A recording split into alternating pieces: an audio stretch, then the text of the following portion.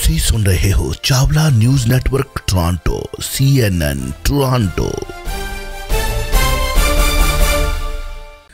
ਇਸ ਵਕਤ ਸਰਦਾਰ ਗੁਰਨਾਮ ਸਿੰਘ ਜੀ ਅਕੀਦਾ ਅਕੀਦਾ ਸਾਹਿਬ ਵੈਲਕਮ ਸਵਾਗਤ ਹੈ ਜੀ ਆਇਆਂ ਨੂੰ। ਸਤਿ ਸ੍ਰੀ ਅਕਾਲ। ਬਹੁਤ ਵਧੀਆ ਸਤਿ ਸ੍ਰੀ ਅਕਾਲ ਚਵਲਾ ਸਾਹਿਬ ਸਤਿ ਸ੍ਰੀ ਅਕਾਲ ਸਾਰੇ ਦਰਸ਼ਕਾਂ ਸਰੋਤਿਆਂ ਨੂੰ ਜੀ ਧੰਨਵਾਦ ਚਵਲਾ ਸਾਹਿਬ ਨਾਲ ਜੋੜਨ ਲਈ ਸ਼ੁਕਰੀਆ ਤੁਹਾਡਾ। ਜੀ ਕੀ ਹਾਲ ਚਾਲ ਠੀਕ ਹੋ?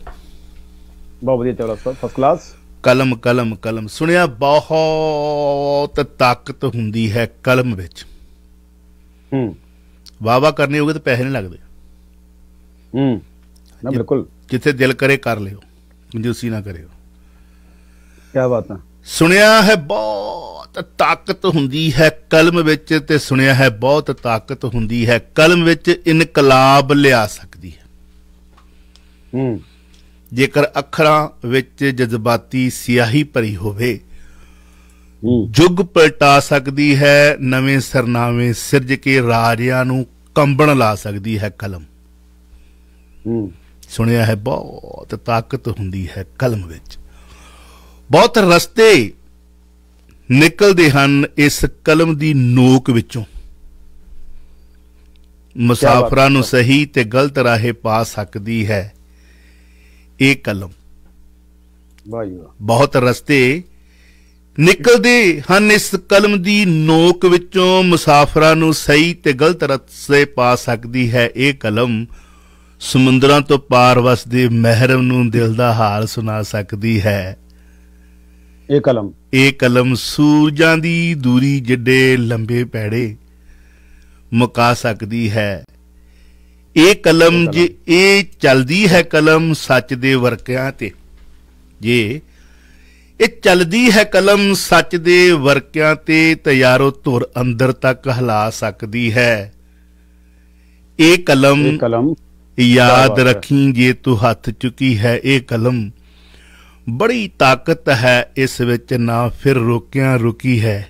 ਇਹ ਕਲਮ ਨਾ ਫਿਰ ਰੋਕਿਆਂ ਰੁਕੀ ਹੈ। ਇਹ ਕਲਮ ਪ੍ਰੋਗਰਾਮ ਦੀ ਤਿਆਰੀ ਵੇਲੇ ਸਰਦਾਰ ਅਵਤਾਰ ਸਿੰਘ ਸੌਜਾ ਸਾਹਿਬ ਦੀਆਂ ਸਤਰਾਂ ਸਾਹਮਣੇ ਆਈਆਂ ਤੇ ਮੈਂ ਕਿਹਾ ਜਰੂਰ ਸਾਂਝੀਆਂ ਕਰਦੇ ਆਂ ਅਕੀਦਾ ਸਾਹਿਬ ਦੇ ਨਾਲ ਰਲ ਕੇ। ਕਿਵੇਂ ਲੱਗੀਆਂ? ਵਾਹ ਜੀ। ਬਹੁਤ ਵਧੀਆ ਚਵਲਾ ਸਾਹਿਬ ਫਸਟ ਕਲਾਸ ਕਲਮ ਤਾਂ ਬਹੁਤ ਕਮਾਲ ਦੀ ਗੱਲ ਆ। ਸਾਡੇ ਨਾਲ ਜਿਹੜੇ ਸਿੱਖਾਂ ਦੇ ਵਿੱਚ ਪੰਜ ਕੱਕੇ ਆ ਨਾ ਜੀ ਛੇਵਾਂ ਕੱਕਾ ਕਲਮ ਵੀ ਹੋਣਾ ਚਾਹੀਦਾ ਵੈਸੇ। ਹੂੰ ਹੂੰ ਹੂੰ। ਤੇ ਕਿਉਂਕਿ ਕਲ- ਕਲਮ ਗੁਰੂ ਸਾਹਿਬ ਨੇ ਫੜਾਈ ਸੀ ਨਾ ਸਾਨੂੰ ਸਾਨੂੰ। ਗੁਰੂ ਸਾਹਿਬ ਨੇ ਕਲਮ ਵੀ ਫੜਾਈ ਸੀ।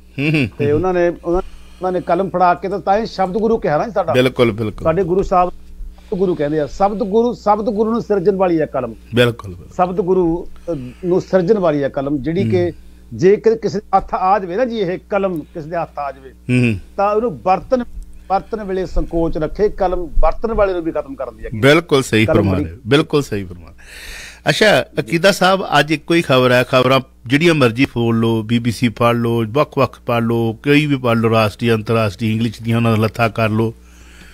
ਹਮਾਸ, ਇਜ਼ਰਾਈਲ ਇਜ਼ਰਾਈਲ, ਹਮਾਸ, ਔਰ ਇਹਦੇ ਤੇ ਵੱਖ-ਵੱਖ ਕੰਟਰੀ ਜਿਹੜੇ ਨੇ, ਉਹਨਾਂ ਦੀ ਹੁਣ ਸਥਿਤੀ ਵੀ ਕਲੀਅਰ ਹੁੰਦੀ ਜਾ ਰਹੀ ਹੈ, ਸਪਸ਼ਟ ਹੁੰਦੀ ਜਾ ਰਹੀ ਹੈ, ਕਿਹੜਾ ਕਿਸ ਨਾਲ ਖੜ ਰਿਹਾ, ਕਿਹੜਾ ਕਿੱਥੇ ਖੜ ਰਿਹਾ ਸਾਡੇ ਕੈਨੇਡੀਅਨ ਪ੍ਰਧਾਨ ਮੰਤਰੀ ਸਾਹਿਬ ਦਾ ਵੀ ਬਿਆਨ ਆਇਆ, ਪਰੰਤੂ ਇਜ਼ਰਾਈਲ ਦੇ ਪ੍ਰਧਾਨ ਮੰਤਰੀ ਨਿਤਨਯਾਹੂ ਨੇ ਭਾਰਤੀ ਪ੍ਰਧਾਨ ਮੰਤਰੀ ਨਰਿੰਦਰ ਮੋਦੀ ਨਾਲ ਫੋਨ ਤੇ ਗੱਲਬਾਤ ਕੀਤੀ ਤੇ ਗੱਲਬਾਤ ਤੋਂ ਬਾਅਦ ਉਹਨਾਂ ਨੇ ਗੱਲ ਬੜੀ ਜ਼ਬਰਦਸਤ ਕਹੀ ਹੈ। ਉਹਨਾਂ ਕਿਹਾ ਕਿ ਜੇ ਨਰਿੰਦਰ ਮੋਦੀ ਵਰਗੇ ਸਾਡੇ ਨਾਲ ਹੋਣ ਤਾਂ ਫਿਰ ਕਿਆ ਬਾਤਾਂ ਨੇ। ਸ਼ਬਦ ਬੜੇ ਜ਼ਬਰਦਸਤ ਬੋਲੇ। ਭਾਰਤੀ ਪ੍ਰਧਾਨ ਮੰਤਰੀ ਜੀ ਨਰਿੰਦਰ ਮੋਦੀ ਨੇ ਕਿਹਾ ਕਿ ਭਾਰਤ ਹਮੇਸ਼ਾ ਅੱਤਵਾਦ ਦੇ ਵਿਰੁੱਧ ਹੈ। ਅਮਰੀਕਾ ਨੇ ਵੀ ਇਜ਼ਰਾਈਲ ਦਾ ਸਾਥ ਦਿੱਤਾ ਹੈ। ਵੱਖ-ਵੱਖ ਕੰਟਰੀਆਂ, ਬਾਕੀ ਇਜ਼ਰਾਈਲ ਦੇ ਨਾਲ ਖੜੀਆਂ ਨੇ। ਕੀ ਕਹਿਣਾ ਚਾਹੋਗੇ? ਤੇ ਬੜਾ ਨਾ ਅਸਲ ਵਿੱਚ ਆਪਾਂ ਨੂੰ ਲੱਗਿਆ ਨਾ ਜੀ, ਇਹ ਜੇ ਆਪਾਂ ਸਾਰੇ ਲੋਕ ਸੋਚਦੇ ਆ ਕਿ ਇਜ਼ਰਾਈਲ ਤੇ ਹਮਾਸ ਦਾ ਜੋ ਝਗੜਾ ਪਿਆ ਇਹ ਇਹ ਹੁਣੀ ਜੇ ਪੈ ਗਿਆ, ਅਚਾਨਕ ਹੀ ਪੈ ਗਿਆ, ਅਚਾਨਕ ਨਹੀਂ ਚੱਲਦਾ। ਸਾਹਿਬ ਇਹਦੇ ਪਿੱਛੇ ਤਾਂ ਮੈਂ ਪੜ੍ਹ ਰਿਹਾ ਸੀ ਖਬਰਾਂ। ਇਹਦੇ ਪਿਛਲੇ 7-8 ਮਹੀਨਿਆਂ ਤੋਂ ਲਗਾਤਾਰ ਇਹ ਚੱਲ ਰਿਹਾ ਇਹਨਾਂ ਦਾ ਕੰਮ। ਇਹਦੇ ਪਿੱਛੇ ਅਮਰੀਕਾ, ਚੀਨ ਈਰਾਨ ਦਾ ਕਾਫੀ ਹੈਗਾ। ਇਵਨ ਕਿ ਸਾਊਦੀ ਅਰਬ ਦਾ ਵੀ ਨਾਂ ਵਿੱਚ ਆ ਰਿਹਾ। ਗੱਲ ਕੀ ਹੈ ਚਵਲਾ ਸਾਹਿਬ, ਕਿ ਸਾਊਦੀ ਅਰਬ ਤੇ ਅਮਰੀਕਾ ਦੀ ਆਪਸ ਵਿੱਚ ਠੀਕ ਹੈ, ਵਧੀਆ। ਵਧੀਆ ਆਪਸ ਚੱਲਦੀ ਹੈ ਉਹਨਾਂ ਦੀ। ਤੇ ਸਾਊਦੀ ਅਰਬ ਨੇ ਨੂੰ ਮਰ ਕੇ ਅਮਰੀਕਾ ਨੇ ਕਿਹਾ ਪਿਆਰ ਮੁਹੱਬਤ ਦੇ ਕੁਝ ਸੰਧੀਆਂ ਹੋਈਆਂ ਸੀਗੀਆਂ ਪਿਆਰ ਮੁਹੱਬਤ ਵਿੱਚ ਕਿਹਾ ਕਿ ਇਜ਼ਰਾਈਲ ਨੂੰ ਤੁਸੀਂ ਸੰਪੂਰਨ ਮੁਲਕ ਦਾ ਦਰਜਾ ਦੇ ਦਿਓ। ਇਜ਼ਰਾਈਲ ਸੰਪੂਰਨ ਮੁਲਕ ਨਹੀਂ ਕਹਿੰਦੇ ਅਜੇ ਹੈਗਾ। ਉਹਨੂੰ ਸੰਪੂਰਨ ਪੂਰੀਆਂ ਧਾਰਨਾਵਾਂ ਪੂਰੀਆਂ ਕਰਦਾ ਸੰਪੂਰਨ ਮੁਲਕ ਨੂੰ ਮੰਨ ਲਓ ਤੇ ਉਹਦੇ ਨਾਲ ਸੰਧੀਆਂ ਪੈਦਾ ਕਰੋ। ਤੇ ਉਹਨਾਂ ਨੇ ਇਸ ਗੱਲ ਨੂੰ ਅੱਗੇ ਤੋਰ ਦਿੱਤਾ ਤੇ ਕਮਾਲ ਉਦੋਂ ਹੋਈ ਜਦੋਂ ਈਰਾਨ ਦੇ ਨਾਲ ਵੀ ਸਾਊਦ ਸਾਊਦੀ ਅਰਬ ਬਹਿ ਗਿਆ। ਉਹਨਾਂ ਨੇ ਫਰਵਰੀ ਦੇ ਵਿੱਚ ਈਰਾਨ ਨਾਲ ਵੀ ਸਮਝੌਤਾ ਕਰ ਲਿਆ ਸਾਊਦੀ ਅਰਬ ਨੇ। ਈਰਾਨ ਜਿਹੜਾ ਹੈਗਾ ਉਹ ਚੀਨ ਦੇ ਨਾਲ ਚੱਲ ਰਿਹਾ। ਉਹ ਅਮਰੀਕਾ ਦੇ ਕੋਈ ਨਾਲ ਨਹੀਂ ਚੱਲ ਰਿਹਾ। ਇਸ ਕਰਕੇ ਅਮਰੀਕਾ ਨੂੰ ਥੋੜਾ ਸੱਟ ਵੱਜੀ ਵੀ ਇਹ ਈਰਾਨ ਨਾਲ ਕਿਵੇਂ ਪਹੁੰਚ ਕੇ ਬੜੀ ਤਹਿਲਕਾ ਮੱਚਿਆ ਉਸ ਟਾਈਮ ਬਿਲਕੁਲ ਬਿਲਕੁਲ ਈਰਾਨ ਦੇ ਨਾਲ ਬਿਲਕੁਲ ਬਿਲਕੁਲ ਤੇ ਉਹ ਜਦੋਂ ਰੌਲਾ ਪਿਆ ਤੇ ਚੀਨ ਜਿਹੜੀ ਹੈਗੀ ਆ ਅੰਦਰੋਂ ਗਤੀ ਤਾਂ ਗੁੱਸਾ ਹੋਣੀ ਸੀਗਾ। ਵੀ ਜਦੋਂ ਇਜ਼ਰਾਈਲ ਨੂੰ ਦਿੱਤਾ ਗਿਆ ਪੂਰਨ ਦਰਜਾ ਪਰ ਉਹ ਹਮਾਸ ਦੇ ਫਲਸਤੀਨ ਦੇ ਪੱਖ ਵਿੱਚ ਵੀ ਚੀਨ ਖੜੀ ਸੀਗੀ। ਵੀ ਕਿਸੇ ਤਰੀਕੇ ਨਾਲ ਇਹਨਾਂ ਨੂੰ। ਅਸਲ 'ਚ ਅੰਤਰਰਾਸ਼ਟਰੀ ਸੰਧੀਆਂ। ਅੰਤਰਰਾਸ਼ਟਰੀ ਪੱਧਰ ਤੇ ਨਾ ਆਪਣਾ ਜਿਹੜਾ ਦਬਦਬਾ ਕਾਇਮ ਕਰਨ ਵਾਸਤੇ ਦੋ ਮੁਲਕਾਂ ਦੀ ਖੇਡੀ ਖੇਡ ਆ ਇਹ ਚੀਨ ਅਤੇ ਅਮਰੀਕਾ ਦੋ ਮੁਲਕਾਂ ਨੇ ਖੇਡ ਖੇਡੀ ਆ ਇਹ ਤੇ ਖੇਡ ਦੇ ਵਿੱਚ ਫਸ ਗਿਆ ਹਮਾਸ ਕਿਉਂਕਿ ਹਮਾਸ ਜਿਹੜਾ ਹੈਗਾ ਨਾ ਜਿਹੜਾ ਉਹਦਾ ਉਹਨਾਂ ਦਾ। ਉੱਥੇ ਹੈਗਾ ਨਾ ਜੀ ਇਲਾਕਾ ਹੈ। ਇਸ ਤੌਰ ਤੇ ਉਸ ਇਲਾਕੇ ਦੇ ਤੇ ਕਬਜ਼ਾ ਕਰਨਾ ਚਾਹੁੰਦਾ ਹੈ ਜਿਹੜਾ ਇਹ ਹੈਗਾ ਇਜ਼ਰਾਈਲ ਕਿਉਂਕਿ ਉਦੋਂ ਕਹਿੰਦਾ ਸਾਡਾ ਹਲਕਾ ਹੈ ਸਾਡਾ ਇਲਾਕਾ ਹੈ। ਉਹ ਇਸ ਤਰੀਕੇ ਨਾਲ ਆਪਸ ਚ ਤਾਕਤ ਚੱਲ ਰਹੀ ਸੀਗੀ ਆਪਸ ਵਿੱਚ ਹਮਾਸ ਦੀ। ਹਮਾਸ ਵੀ ਗਰੁੱਪ ਆ ਇੱਕ ਉੱਥੇ ਇੱਕ ਇਹਨਾਂ ਦਾ ਆਪਣਾ ਅੱਤਵਾਦੀ ਗਰੁੱਪ ਆ ਜਿਹਦੇ ਕੋਲੇ ਜਿਹਦੇ ਕੋਲੇ ਕਈ ਕੰਪਨੀਆਂ ਫੌਜ ਵੀ ਹੈਗੀ ਆ। ਤੇ ਉਸ ਹਮਾਸ ਨੇ ਫਿਰ ਅਚਾਨਕ ਹੀ ਸ਼ਾਇਦ ਪਿਛਲੇ ਪਾਸੇ ਲੋਕ ਕਹਿੰਦੇ ਆ ਇਰਾਨ ਆ ਪਿੱਛੇ ਲੋਕ ਇਦਾਂ ਵੀ ਕਹਿੰਦੇ ਆ ਕਿ ਇਰਾਨ ਨੇ ਕੰਮ ਕੀਤਾ ਪਿੱਛੇ ਇਹਨਾਂ ਦੇ। ਤੇ ਹਮਾਸ ਨੇ ਅਟੈਕ ਕਰਤਾ ਅਹ, ਇਜ਼ਰਾਈਲ ਦੇ ਉੱਪਰ। ਤੇ ਇਜ਼ਰਾਈਲ ਜਿਹੜੀ ਹੈਗੀ ਆ ਉਹ ਇੱਕ ਵਾਰ ਤਾਂ ਜਿਵੇਂ ਨਾ ਕਿਸੇ ਅਚਾਨਕ ਕਿਸੇ ਮੁੰਡੇ ਦੇ ਪਚਪੇੜਾ ਮਾਰ ਦਈਏ ਉਹ ਸੰਭਲਣਾ ਜਾ ਔਖਾ ਹੁੰਦਾ ਇੱਕ ਵਾਰੀ ਪਤਾ ਨਹੀਂ ਲੱਗਦਾ ਵੀ ਕੀ ਹੋ ਕੀ ਗਿਆ। ਇਜ਼ਰਾਈਲ ਨੂੰ ਪਹਿਲਾਂ ਤਾਂ ਇਦਾਂ ਹੀ ਲੱਗਿਆ ਕਿਉਂਕਿ ਕਾਫੀ ਮੌਤਾਂ ਹੋ ਗਈਆਂ ਤੇ ਕੱਲ। ਖੈਰ ਨਰਿੰਦਰ ਮੋਦੀ ਉਹਨਾਂ ਦੀ ਗੱਲ ਹੋਈ ਆ ਇਜ਼ਰਾਈਲ ਦੇ ਜਿਹੜੇ ਬੈਂਜਾਮਿਨ ਹੈਗੇ ਨੇ ਉਹਨਾਂ ਦੇ ਪ੍ਰਧਾਨ ਮੰਤਰੀ ਦੇ ਨਾਲ ਕਾਫੀ ਅੱਛੇ ਸੀਗੇ ਤੇ ਉਹਨਾਂ ਨੇ ਐਲਾਨ ਵੀ ਕੀਤਾ ਕਿ ਜੰਗ ਤਾਂ ਨਹੀਂ ਸ਼ੁਰੂ ਕੀਤੀ ਅਸੀਂ। ਬੈਂਜਾਮਿਨ ਜਿਹੜਾ ਹੈਗਾ ਉਹਨੇ ਕਿਹਾ ਕਿ ਜੰਗ ਸ਼ੁਰੂ ਨਹੀਂ ਕੀਤੀ ਅਸੀਂ ਪਰ ਖਤਮ ਅਸੀਂ ਕਰਾਂਗੇ ਇਹਨੂੰ। ਤੇ ਸਾਨੂੰ ਪਤਾ ਇਹ ਖਤਰਨਾਕ ਸਾਡੇ। ਉੱਤੇ ਖੇਡ ਕੀਤੀ ਗਈ ਆ ਪਰ ਅਸੀਂ ਖਤਮ ਕਰਾਂਗੇ ਇਹਨੂੰ। ਅਮਰੀਕਾ ਅਮਰੀਕਾ ਨੂੰ ਖੜਨਾ ਪੈਣਾ ਨਾਲ। ਇਜ਼ਰਾਈਲ ਦੇ ਨਾਲ ਅਮਰੀਕਾ ਨੂੰ ਹੀ ਖੜਨਾ ਪੈਣਾ ਜੇ ਅਮਰੀਕਾ ਖੜੇਗਾ ਤਾਂ ਗੱਲ ਬਣਦੀ ਆ ਕਿਉਂਕਿ ਉਹਦਾ ਅਮਰੀਕਾ ਦਾ ਨਾਲ ਖੜਨਾ ਇਜ਼ਰਾਈਲ ਦੇ ਨਾਲ ਖੜਨ ਦਾ ਹੀ ਲਾਭ ਆ ਅਮਰੀਕਾ ਦਾ ਫਿਰ। ਅੰਤਰਰਾਸ਼ਟਰੀ ਪੱਧਰ ਤੇ। ਇਸ ਅਮਰੀਕਾ ਵੀ ਨਾਲ ਖੜਾ ਚਾਵਲਾ ਸਾਹਿਬ ਜੀ। ਵੇਖੋ ਜੀ ਅਜੇ ਤਾਂ ਸਹਾਇਤਾ ਕਰ ਰਹੇ ਨੇ ਮੁੜ ਕੇ ਫਿਰ ਸਮਾਨ ਵੇਚਣਾ ਵੀ ਹੈ। ਸੈਕੰਡ ਵਰਲਡ ਵਾਰ ਨੂੰ ਤੁਸੀਂ ਜੇਕਰ ਇਹ ਕਬਾਇਲੀ ਖੇਤਰ ਨੇ ਸਾਰੇ ਕਬਾਇਲੀ ਇਲਾਕੇ ਨੇ ਜਿਹੜੇ ਉਸ ਵਕਤ ਜਿਹੜੇ ਇੱਜੜ ਪਾਲਣ ਵਾਲੇ ਇਲਾਕੇ ਨੇ ਸਾਰੇ ਸਾਡੇ ਵੀ ਉਧਰ ਵੀ ਸਾਡੇ ਅਜੇ ਵੀ ਹੈਗੇ ਨੇ ਇੱਜੜ ਪਾਲਦੇ ਜੇ ਇਹਨਾਂ ਦੀ ਤੁਸੀਂ ਪਿੱਛੇ ਬੈਕਗ੍ਰਾਉਂਡ ਜਾ ਕੇ ਵੇਖੋ ਪਾਪਾ ਆਜ਼ਮ ਤੋਂ ਲੈ ਕੇ ਇਹਨਾਂ ਦੀਆਂ ਸ਼ੁਰੂ ਤੋਂ ਹੀ ਸਿੰਘ ਫਸੇ ਹੋਏ ਨੇ। ਜੀ ਬਿਲਕੁਲ। ਇਹਨਾਂ ਦਾ ਤੁਸੀਂ ਹਿਸਟਰੀ ਪੜ੍ਹ ਕੇ ਵੇਖੋ ਪਾਪਾ ਆਜ਼ਮ ਦਾ ਤੁਸੀਂ ਨਾਂ ਜ਼ਿਕਰ ਸੁਣਿਆ ਹੋਣਾ ਉਸ ਤੋਂ ਲੈ ਕੇ ਇਹਨਾਂ ਦੇ ਆਪਸ ਵਿੱਚ ਸਿੰਘ ਫਸੇ ਨੇ ਇਹਦੇ ਵਿੱਚ ਛੋਟੀ ਜੀ ਕਹਾਣੀ ਨਹੀਂਗੀ ਬੜੀ ਲੰਬੀ ਚੌੜੀ ਕਹਾਣੀ ਹੈ। ਸੈਕੰਡ ਵਰਲਡ ਵਾਰ ਤੋਂ ਬਾਅਦ ਇਹਨਾਂ ਦੇ ਜਿਹੜੇ ਨੇ ਇਹਨਾਂ ਨੂੰ ਪਹਿਲਾਂ ਤਾਂ ਇਹਨਾਂ ਦੇ ਜਿਹੜੇ ਕਬਾਇਲੀ ਇਲਾਕੇ ਸੀ ਇਹ ਆਪਣੇ ਜਿਹੜੇ ਇਹਨਾਂ ਦਾ ਮੁਖੀ ਹੁੰਦਾ ਸੀ ਉਹਦੇ ਨਾਂ ਦੇ ਉੱਤੇ ਹੁੰਦਾ ਸੀਗਾ। ਜਿਹੜਾ ਕਬਾਇ- ਕਬਾਇਲੀ ਜਿਹੜਾ ਇਹਨਾਂ ਦਾ ਕਬੀਲਾ। ਉਹ ਕਬੀਲਿਆਂ ਤੋਂ ਵਿੱਚੋਂ ਹੌਲੀ ਹੌਲੀ ਹੌਲੀ ਹੌਲੀ ਇਹਨਾਂ ਦੀਆਂ ਜੰਗਾਂ ਜੁੱਦਾਂ ਜਿਹੜੀਆਂ ਨੇ ਉਹ ਇਕੱਠੇ ਹੁੰਦੇ ਗਏ ਇਕੱਠੇ ਹੁੰਦੇ ਗਏ ਇਕੱਠੇ ਹੁੰਦੇ ਗਏ। ਫਿਰ ਤੁਰਕ ਜਿਹੜੇ ਨੇ ਤੁਰਕਸਤਾਨ ਜਿਹੜਾ ਤੁਰਕ ਜੇ ਹਿਸਟਰੀ ਪੜੋਗੇ ਤਾਂ ਉੱਥੋਂ ਜ਼ਿਆਦਾ ਇਹਨਾਂ ਦਾ ਜਿਹੜਾ ਨਾ ਸਲੀਬੀਆਂ ਦਾ ਮੰਗੋਲਾਂ ਦਾ। ਇਹ ਉੱਥੋਂ ਸ਼ੁਰੂ ਹੋ ਕੇ ਐਂਡ ਤੱਕ ਜਿਹੜਾ ਸੈਕੰਡ ਵਰਲਡ ਵਾਰ ਤੱਕ ਤੁਸੀਂ ਵੇਖ ਲਓ ਹੌਲੀ ਹੌਲੀ ਜਿਉਂ-ਜਿਉਂ ਤਰੱਕੀ ਹੁੰਦੀ ਗਈ ਪਹਿਲਾਂ ਤਾਂ ਤੀਰਾਂ ਕਮਾਨਾਂ ਦੇ ਨਾਲ ਹੱਥਾਂ ਦੇ ਨਾਲ ਲੜਾਈ ਹੁੰਦੀ ਸੀ ਇਹਨਾਂ ਦੀ। ਫਿਰ ਹੌਲੀ ਹੌਲੀ ਹਥਿਆਰ ਬੰਨੇ ਸ਼ੁਰੂ ਹੋ ਗਏ ਫਿਰ ਹੌਲੀ ਹੌਲੀ ਮਹਿਲ ਬੰਨੇ ਸ਼ੁਰੂ ਹੋ ਗਏ। ਰਹਿੰਦੇ ਤੇ ਝੁੱਗੀਆਂ ਦੇ ਵਿੱਚ ਸੀ ਝੌਂਪੜੀਆਂ ਦੇ ਵਿੱਚ ਸੀ ਨੰਗੇ ਸਮਾਨ ਦੇ ਵਿੱਚ। ਰਹਿੰਦੇ ਸੀ। ਔਰ ਸਾਰਾ ਕੁਝ ਇੱਥੋਂ ਵੇਖੋ ਤੁਸੀਂ ਇਹਨਾਂ ਦੀ ਲੜਾਈ ਸਲੀਬੀਆਂ ਦੇ ਨਾਲ ਮੰਗੋਲਾਂ ਦੇ ਨਾਲ ਸ਼ੁਰੂ ਤੋਂ ਹੀ ਔਰ ਇਹਦੇ ਵਿੱਚ ਜਿਹੜਾ ਇਰਾਨ ਹੈ ਇਹਦੀ ਬੜੀ ਸੌਰੀ ਇਰਾਨ ਤੁਸੀਂ ਕਹਿ ਰਹੇ ਮੈਂ ਕਹਿ ਰਿਹਾ ਇਰਾਨ ਇਹ ਬਾਅਦ ਦੇ ਵਿੱਚ ਹੈ ਪਰੰਤੂ ਜਿਹੜਾ ਬ੍ਰਿਟੇਨ ਹੈ ਇਹਦੀ ਬੜੀ ਇੱਕ ਬੜੀ ਭੂਮਿਕਾ ਹੈ ਬਹੁਤ ਵੱਡੀ ਕਿਉਂਕਿ ਬ੍ਰਿਟੇਨ ਦੁਨੀਆ ਤੇ ਰਾਜ ਕਰਨਾ ਚਾਹੁੰਦਾ ਸੀਗਾ ਹਿਸਟਰੀ ਨੂੰ ਹੋਰ ਲੰਬਿਆ ਕਰ ਦਈਏ ਤੇ ਬੜਾ ਕੁਝ ਇਹਦੇ ਵਿੱਚੋਂ ਨਿਕਲਦਾ ਬਹੁਤ ਕੁਝ। ਸੈਕੰਡ ਵਰਲਡ ਵਾਰ ਤੋਂ ਬਾਅਦ ਇਹ ਜਿਹੜੇ ਨੇ ਖਿੱਤੇ ਵੰਡੇ ਗਏ ਨੇ ਉਦੋਂ ਬਾਅਦ ਦੇ ਵਿੱਚ ਇਹਨਾਂ ਨੂੰ ਜਿਹੜੇ ਨੇ ਦੇਸ਼ ਬਣੇ ਨੇ ਅਜੇ ਫਿਰ ਇਹਨਾਂ ਦੀ ਕਸ਼ਮਕਸ਼ ਜਾਰੀ ਹੈ ਕਦੀ ਉਹ ਭਾਰੀ ਹੋ ਜਾਂਦਾ ਕਦੀ ਉਹ ਭਾਰੀ ਹੋ ਜਾਂਦਾ ਕਦੀ ਉਹ ਹੈਵੀ ਹੋ ਜਾਂਦਾ ਕਦੀ ਉਹ ਹੈਵੀ ਹੋ ਜਾਂਦਾ ਪਰ ਇਹਦੇ ਤੇ ਰੋਟੀਆਂ ਸਾਰੇ ਹੀ ਹੁਣ ਸੇਕ ਰਹੇ ਨੇ ਰੱਜ ਕੇ ਸੇਕ ਰਹੇ ਨੇ ਹਾਂਜੀ। ਬਿਲਕੁਲ, ਚਲੋ ਸਾਹਿਬ ਬਿਲਕੁਲ। ਜੀ। 9058131320 ਤੁਸੀਂ ਕਿਸੇ ਨੇ ਹੋਰ ਕੋਈ ਐਡ ਕਰਨਾ ਹੋਵੇ, ਇਸ ਦੇ ਵਿੱਚ ਗੱਲਬਾਤ ਦੇ ਵਿੱਚ ਕੋਈ ਸ਼ਾਮਲ, ਤਾਂ ਤੁਸੀਂ ਨੰਬਰ 905813 1320 ਤੇ ਕਾਲ ਕਰ ਸਕਦੇ ਹੋ। ਕਿਤਾ ਸਾਹਿਬ, ਜਿਹੜਾ ਨੇਪਾਲ ਦੇ ਬਾਂਕੇ ਜ਼ਿਲ੍ਹੇ ਵਿੱਚ ਨੇਪਾਲ ਗੰਜ ਕਸਬੇ ਵਿੱਚ ਗੁਮਾਸ ਖਾਨ ਦੀ ਵੀਡੀਓ ਵਾਇਰਲ ਹੋਈ ਹੈ ਉੱਥੇ ਇੱਕ ਦੰਗੇ ਭੜਕੇ ਹੋਏ ਨੇ ਕਾਫੀ ਵੱਡੀ ਤਾਦਾਦ ਦੇ ਵਿੱਚ। ਨੇਪਾਲ ਤੇ ਭਾਰਤ ਦਾ ਬਾਰਡਰ ਸੀਲ ਹੋਇਆ ਯੂਪੀ ਵਿੱਚ ਵੀ ਇਸ ਸੰਦਰਭ ਚ ਪਤਾ ਲੱਗਾ ਕਿ ਹਾਈ ਅਲਰਟ ਹੈ। ਕੀ ਕਹਿਣਾ ਚਾਹੋਗੇ? ਚਲੋ ਸਾਹਿਬ ਅਸਲ ਵਿੱਚ ਨੇਪਾਲ ਵਿੱਚ ਨਾ ਜੀ ਇਹ ਆਮ ਤੌਰ ਤੇ ਪਹਿਲਾਂ ਵੀ ਹੁੰਦਾ ਰਿਹਾ। ਅਸਲ ਵਿੱਚ ਨੇਪਾਲ ਦੇ ਵਿੱਚ ਵੀ ਹਿੰਦੂ ਮੁਸਲਮਾਨ ਦੀ ਗੇਮ ਸ਼ੁਰੂ ਹੋ ਚੁੱਕੀ ਹੈ।